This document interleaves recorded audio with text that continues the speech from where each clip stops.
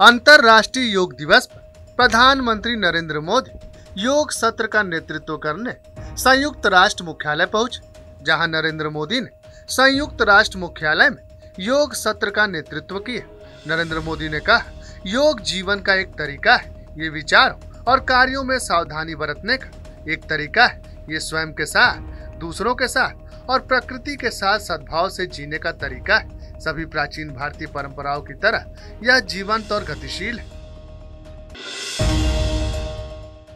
आज भारत समेत दुनिया भर के देशों में नौवा विश्व योग दिवस मनाया जा रहा है। विश्व योग दिवस के मौके पर आज सीएम योगी आदित्यनाथ गोरखपुर के गोरक्षनाथ मंदिर पहुँचे। योगी ने लोगों से कहा, योग को जीवन का हिस्सा बनाए आज लोगों के सामने विभिन्न प्रकार की चुनौतियाँ कोई शारीरिक बीमारियों से परेशान कोई तनाव से परेशान इन सभी से संपूर्ण आरोग्यता प्रदान करने में योग की बहुत बड़ी भूमिका है। डिप्टी सीएम केशव प्रसाद मौर्य ने सपा, बसपा और कांग्रेस पर जमकर हमला बोला उन्होंने केंद्र सरकार की नौ साल की उपलब्धियों के बारे में जनता को बताया। इसके साथ केशव प्रसाद मौर्य ने कहा, जब से भारतीय जनता पार्टी की डबल इंजन सरकार सत्ता में आई, तब से पूर्वांचल का नक्शा बदला पहले की सरकारों ने पूर्वांचल को बर्बाद कर दिया था। बसपा सुप्रीमो मायावती ने लखनऊ स्थित राज्य कार्यालय, स्टेट मंडल एवं जिला कमेटी के वरिष्ठ अधिकारियों की बैठक ली। उन्होंने कहा, लोकसभा चुनाव 2024 की तैयारियों में सभी को मजबूती से लग जाना है। बैठक को संबोधित करते हुए बसपा प्रमुख ने कहा, वर्तमान के राजनीतिक हालात और उससे निपटने के लिए विपक्षी पार्टियों की गतिविधियों पर हमारी पूरी नज़र है।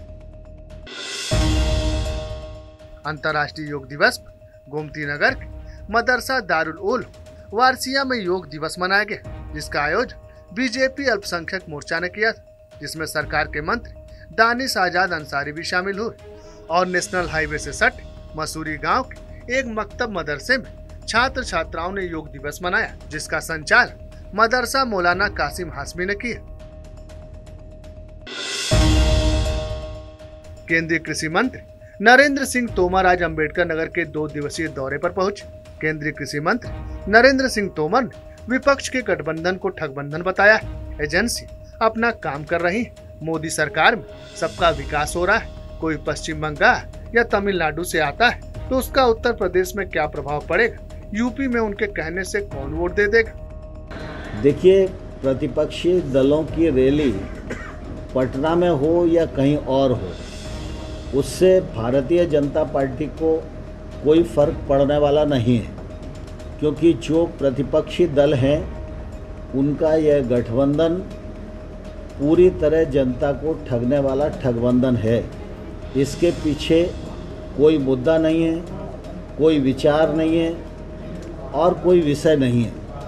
कुल मिला के इन सब लोगों की कोशिश है कि मोदी जी की सरकार जो ट्रांसपेरेंसी के साथ काम कर रही है। निषाद पार्टी के राष्ट्रीय अध्यक्ष संजय निषाद द्वारा प्रयागराज स्थित निषाद राज के किले में बने अवैध मस्जिद हटाए जाने का बयान अब गर्मा गया।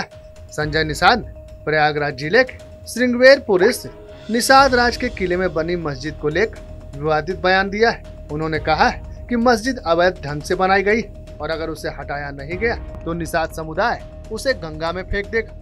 इंदिरा गांधी ने खुदाई कराई। जब खुदाई हुआ था तो उस समय, उसमें कोई मस्जिद था ही नहीं। पूरे पूरे खुदाई हुई, पुरातत्व विभाग का रिपोर्ट है। इसके मतलब मस्जिद बाद में बनाई गई लेकिन जहाँ इंदिरा गांधी खड़ी होकर खुदाई कराई, वो मस्जिद नहीं रहा।